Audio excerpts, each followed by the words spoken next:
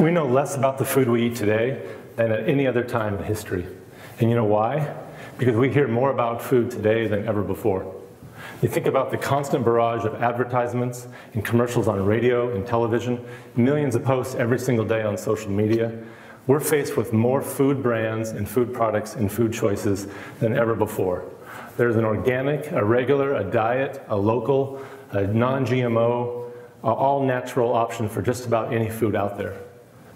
And there are scientific studies that say things like wine and coffee cause cancer. And there are studies out there that say wine and coffee prevent cancer. Eat your vegetables, but only if they're organic because of the pesticides. Well, wait a minute, those have pesticides too. Dairy is ruining the planet. Milk does the body good. Sugar is good and fat is bad. Wait a minute, scratch that. Fat is good and sugar is bad. Extra virgin olive oil, is it real or is it fake? Are we supposed to eat grass-fed or lab-grown meat now, or no meat at all? Local is the future of food. But wait a minute, maybe it's pizza by drone is the future of food. Or maybe the future of food isn't food at all, it's meal replacements that we drink every few hours. And then my favorite headline of all is this one right here. Our modern food system works as designed, and that's becoming a problem.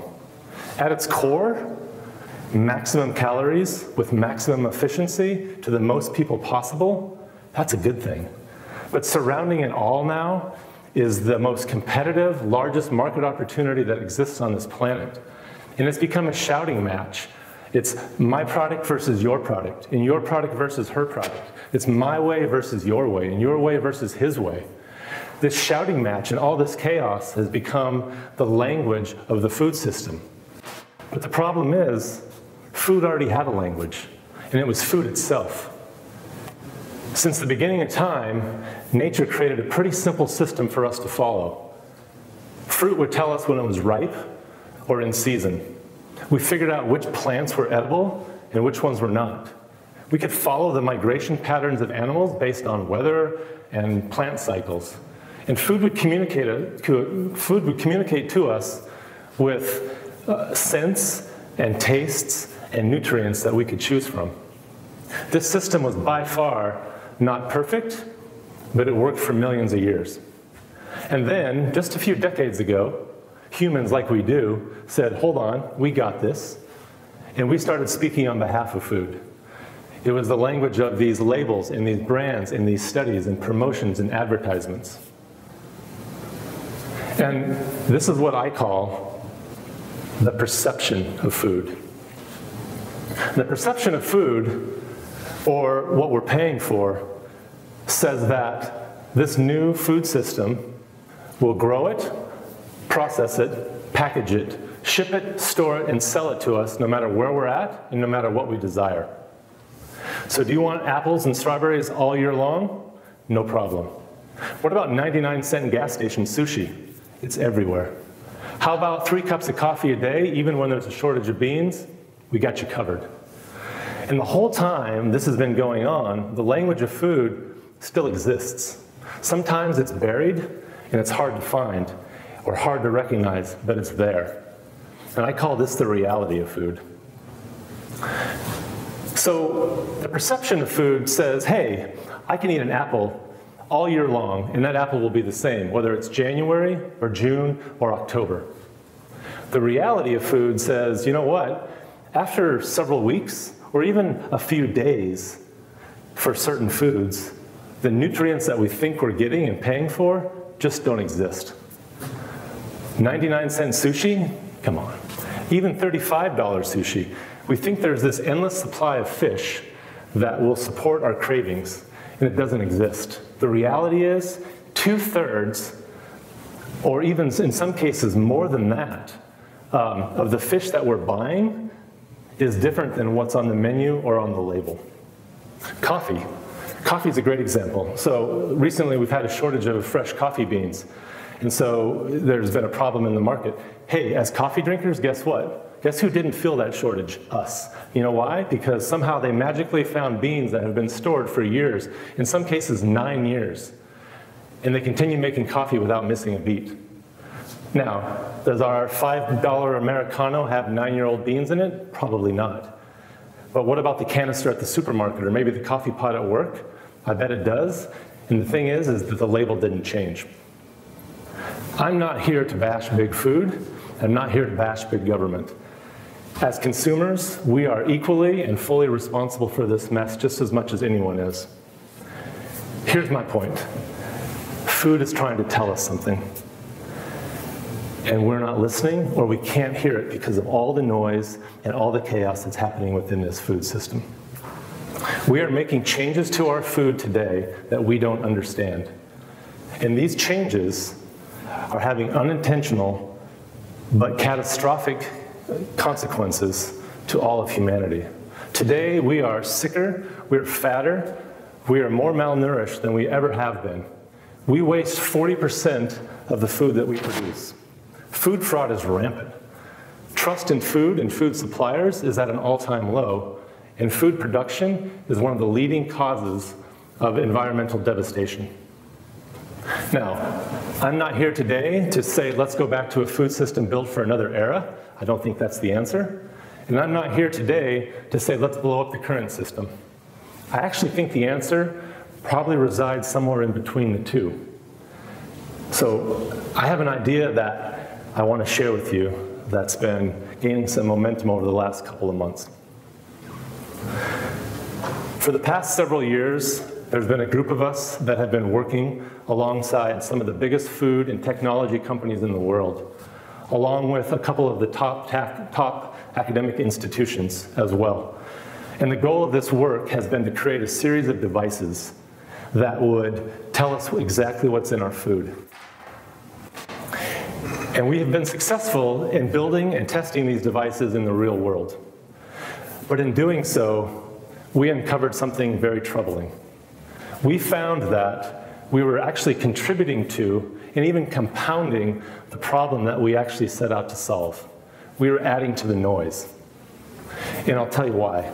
Because as we were developing this, these devices or these platforms, along with hundreds of other companies trying to do the same thing, we were developing another language and a unique set of standards. And that's a problem because these devices and these platforms didn't easily communicate with the existing technologies that run our food system today, nor did these technologies communicate with each other very well. So think about that for a minute from a consumer standpoint. Hundreds of devices out there, and if, if I have one need, a single need, maybe I have a gluten allergy, and maybe one device will actually satisfy that. But if I'm someone who wants to know if there's gluten, or I want to verify if my milk is real, or my fish is real, or I want to know the nutritional content of food, or I want to know any range of things, I could be walking into a store, sitting down in a restaurant with a purse full of devices and applications. It's not practical. So we thought, well, what if there was another way? What if we could translate the existing language of food in a way that can communicate across all these existing technologies and future technologies in a way that we could all fully and equally understand our food together. So the last couple of months, we tried something that we've been working on for a while. Apple season just wrapped up in the US.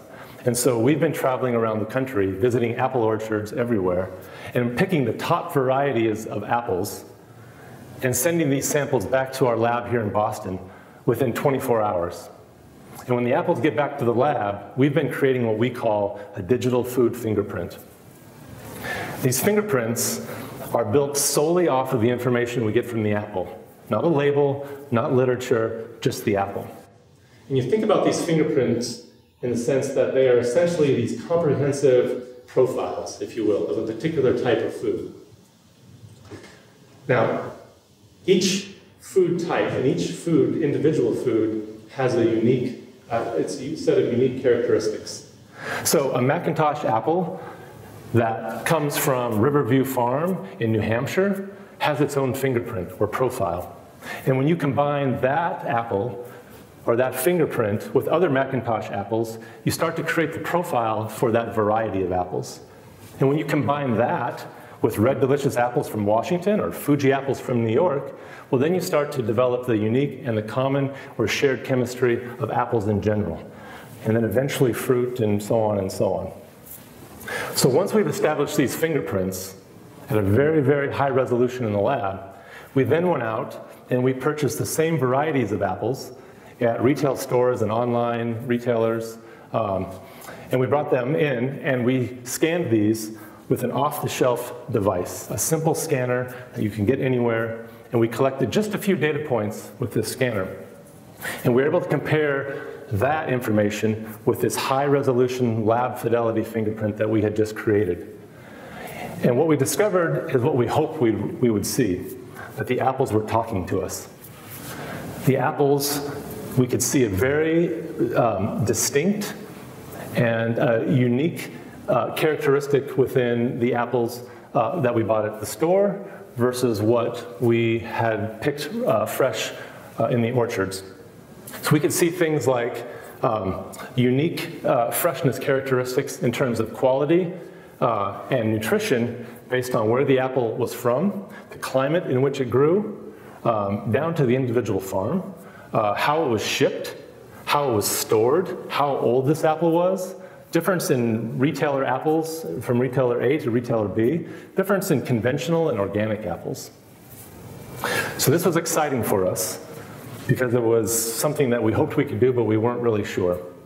So we were highly encouraged by this information because now a single piece of food, in this case an apple, could tell us exactly what's happening to it in the life cycle of this item simply by comparing how something starts, its journey through the food system, and how it looks at any particular moment within that food system. Equally exciting was the fact that we could take this information that the apple was giving us and we could translate it in a way that would integrate with an existing technology and give an, an, answer in a matter of just a few seconds and with the user having no special skills. So think about food as its own label. No BS, in a real-time situation, something could tell you what it is, where it's from, whether or not it's fresh, and what the nutritional value of it is. So now think about that in combination with something like the blockchain. If you knew exactly how something started its life, then blockchain all of a sudden makes sense with food. Because now, if I know how it starts, I can track it throughout every transaction until it gets to a consumer. And then once it gets there, not only can I confirm of all the different steps it's gone through, but I also can confirm that it's actually worth going through all that, that there is some nutrition left and there's some value left in that food. So think about combating food fraud when it comes to wine or milk or fish or meat or olive oil. Or what about combining it with environmental sensors in the supply chain? If I know how a food starts and I can see it degrading over time, I can go specifically into a point in the supply chain and say, I have a problem here. It's degrading faster than it should, and I can solve that problem. And that could go a long ways towards reducing waste or getting fresher food to people faster. And then finally, what about incorporating, incorporating this type of information into these handheld devices and or smartphone? Imagine never having to buy or eat food again that isn't real or isn't good for us. But more importantly, if you could do that using a common language, you can share that information with everyone and they would understand it. Whatever technology they were using, whatever language they actually spoke, they would know, hey, this is good for me or this is bad for me. So it's early days. Uh, we're highly encouraged by this work. It's exciting.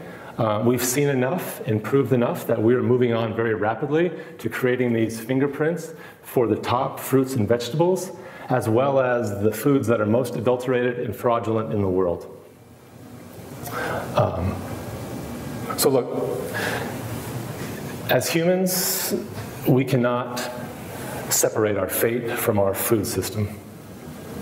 And we'll either continue to head down this path of perception, pretending like it's working, and literally feeding ourselves to death. Or we'll choose to listen to our food again, and we'll get real about what it can and cannot do for us. But food is too important to leave up to the experts. We're all in this together. We all created this mess, and we all have a responsibility to clean it up. So I'll leave you with a challenge. And that challenge is the next time you sit down for a meal, ask your food these questions. What is it? Is it real? And how is this decision impacting my body, my community, and the planet? And only when there are answers to these questions will you know if we made the right choice.